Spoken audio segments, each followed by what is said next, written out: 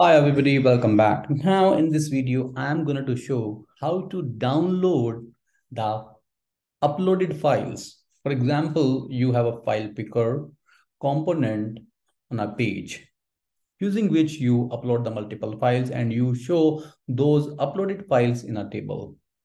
In that table, you would like to give a functionality, you would like to give a column using which a user can download the file which is uploaded by him or her so that he actually can see what actually file I have uploaded just to view. So let's look at and see how this functionality can be achieved in Visual Builder.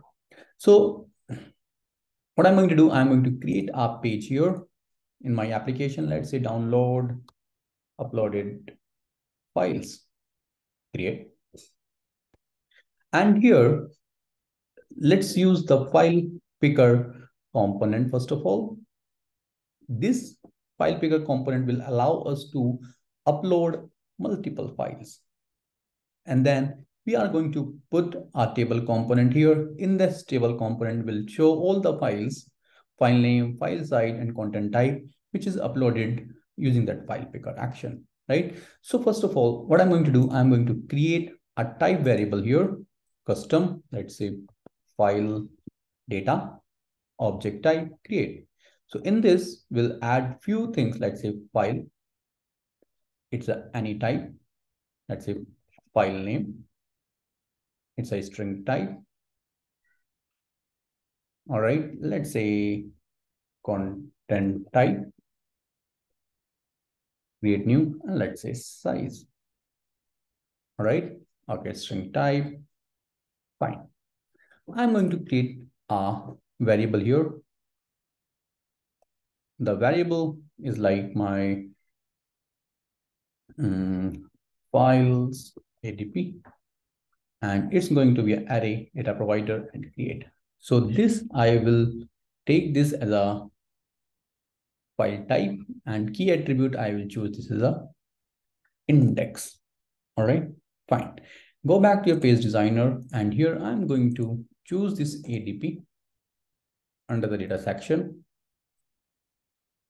file ADP and whatever field I need to show, I will show, let's say file name, size and content. And here I'm going to add one extra field here, new empty column. And this I will choose as a download. Right. And all right. And here I'm going to use our icon and we'll put this icon onto this download. All right.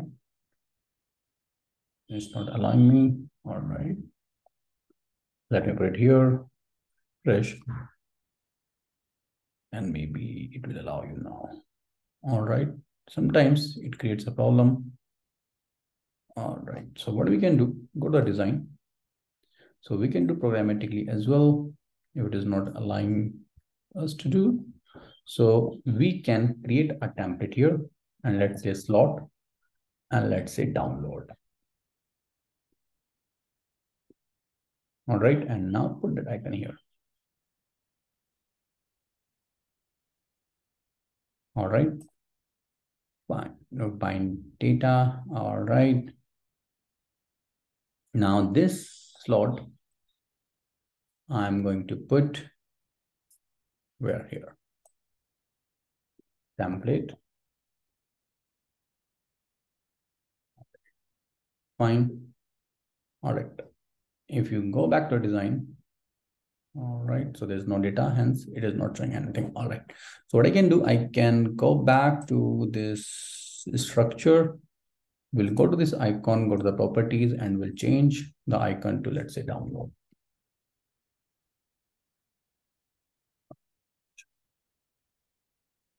fine. And if I go back the code, I don't think so I need it, all right? Fine. Fine, okay. Now, I'm going to create one more variable, files, and let's say file. All right. All right, go to data and go to this file and let's go to the event let's say on selected files. All right. So I'm going to create one more variable here. First of all, let's say file array and it's array type create. All right. And I can add more fields here. Let's say file, the similar field that we have added in the type, any file name, string type, let's say content type, and let's say size. So the field name is exactly the same as we have added here. Great. Let me check one thing. Size. Okay, fine. File array. Now go back to this action chain that we just created and let's make a for each loop here. All right. So I will use assign and will use this files array to the items because in this we will receive all the files and looping over. And we'll use the assign action here. Assign. And under this file array so all right. So i will put it here. Okay and current dot index it here. And i will put this is a type type of the file. So it will give me the file type right again i will do the same thing here on the file. Current dot index all right then again here. Dot name. And then dot size. All right save all right and then after this i'm going to use assign action again assign and then I'm going to assign this file array to this guy and save. That's it. Now let me run this page and see what happens now. Let me go to the live and let me upload few, few files here. Download. All right.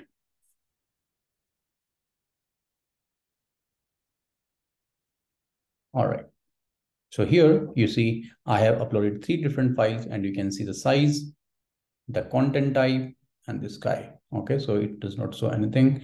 Let me upload one more file here. All right. Okay, so it's showing one duplicate file. So what I have to do, I have to use empty here.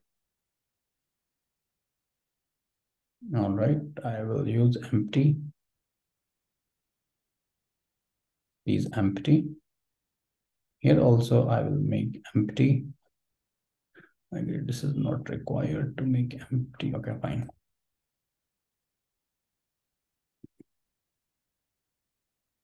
Empty and save. Fine. Go back to designer now. Let me add file here. Two files.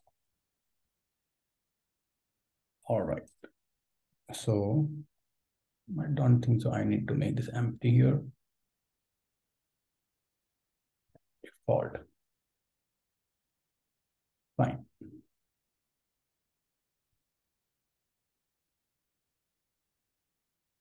All right, so again creates a problem.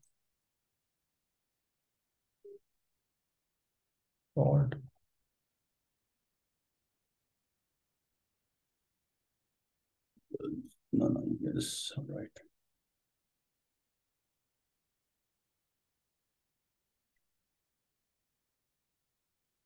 All right, so I could see two files. Now let me add one more file here. All right, so I see. Now, what I need to do, when I click on this download button, the file should be downloaded. All right, so let's go back to the design, go to the properties, and let's click on this icon and let's generate an event here. Okay, so here I'm going to write one JavaScript function, first of all, which will allow me to download the file. And let's say function, oh, sorry, download file. Let's say file. So I have to write a little JavaScript function here. All right. So here is my JavaScript function. So here this is the file that I'm passing and here this will content type I can let's say file dot type. All right. I hope I'm good. Now I will go to the action and we'll call this function and then download file. And in this file let's say current dot row dot file save. That's it. Now let's run this page and see how it works now. Let me first of all change it to download. All right. And download. It will be like up download uploaded files. Fine. Let's run this now.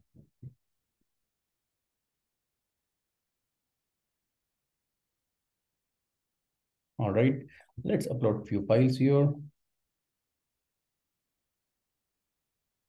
All right.